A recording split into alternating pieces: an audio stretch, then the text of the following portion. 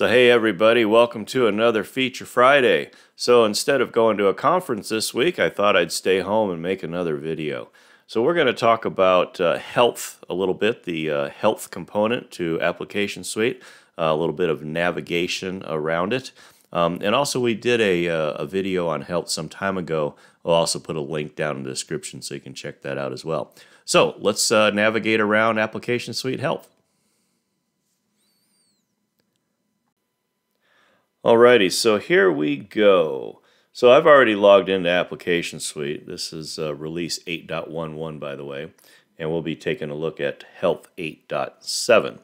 Uh, so this is the tile for health that you're going to see here on the, the main navigator. And I did want to mention that up here in the upper right corner of every tile, uh, there are some options. Specifically, the documentation for that particular uh, set of applications is available. And also, if you're doing any type of interfacing or developing your own applications and such, then you can certainly gain access to the API documentation. So, documentation for the particular tile is very easily uh, available there. Okay. So I'm going to click on the health tile and give it a moment to render. And the first thing you'll notice is that I land in the assets table here and it's telling me I've got 8,300 plus records. So health has access to the asset records and the location records that are in the underlying manage instance. So this particular instance of manage, I've got over 8,000 uh, asset records there. And if I jump over to the locations, I'm able to see that I've got 125 locations on this instance of manage as well. Okay, so again, health has access to those asset records and the location records that are in the underlying manage instance. Okay, so the next thing I want to talk about are these queries or these views. So out of the box, health comes with several different queries or several different views to filter down the list of assets that you see. And the same is true over on locations. And you can see down through here what some of these look like. So as you then filter, um, you know, your search and filter over here on the right hand side, once you've satisfied with a certain query, then you can come over here and save it as a new view. Okay, so this is a pretty handy tool. You can definitely search on the different attributes of the assets or descriptions, maybe their locations, um, and narrow it down so that you can have different lists of assets as you wish. So now let's move over to what we really want to talk about here today. So I am in the table view and I've moved over to the right hand side of the screen um, and talked a little bit about how you can filter and save queries for that. Um, I also might want to mention that over here, you're able to manage the columns that you see. So if I clicked on this icon, I could decide which columns, uh, beyond just the ones I see already, not only which ones I see, but also the order that they can be in. And then you can save that as a view um, as well. Okay. So the next icon is the map view. So if your manage system has been configured to use a map, then you will see or can see the assets or locations, you know, rendered on a map as well. And I'm going to go ahead and click that, and it may take a moment to render here. So, okay, and it did take a moment to render. So here we are. And again, depending on what type of map and the layers and such that you have configured will depend on what you see here. Um, but if I go ahead and zoom in just a little bit to make it a little bit easier for you to see, you'll notice that the assets that are in Manage, that are on the map, um, are also given pins here. And there's a little bit more information than you normally would get. You notice some of these are gray and some of these are red. Well, that's what this little legend is over here on the left-hand side. This is telling me that for each of these assets, not only where are they on the map, but it's also representing their current health score. Okay, so you can see that most of those on the map there, they don't have a score. They're not um, in my health scoring system as of yet. Uh, but the two that are, that have the little red X on there, uh, they're experiencing poor health, right? And so this is just a, a way to see on the map uh, what the health status is of the different assets that are in the system.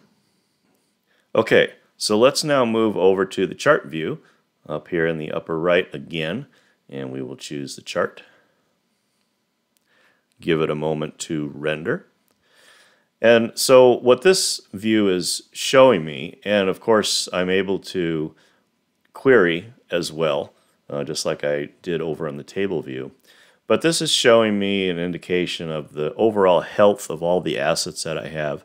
And as you can see, the vast majority of the assets that are in my managed system, I do not have a health score for. I haven't uh, completed that work as of yet.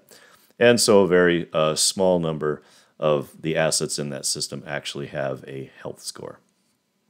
If you have indicated a manufacturer on your different assets and there's been a failure of some kind reported against that asset, then you're able to see which manufacturers are perhaps uh, producing the, the worst amount of failures.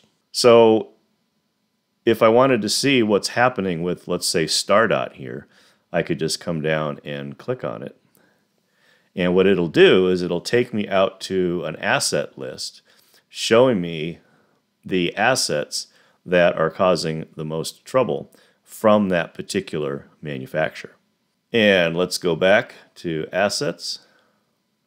And of course, over here on the right hand side is unplanned downtime.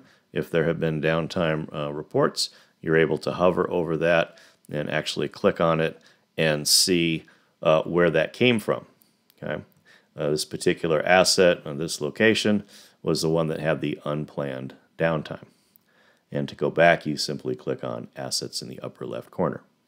One thing to note here in all of these views is on the right-hand side, you're able to choose the span of time that you wish to look at. And the default here is in the last 12 months. You can look at the last month, you can put in a custom range, that sort of thing.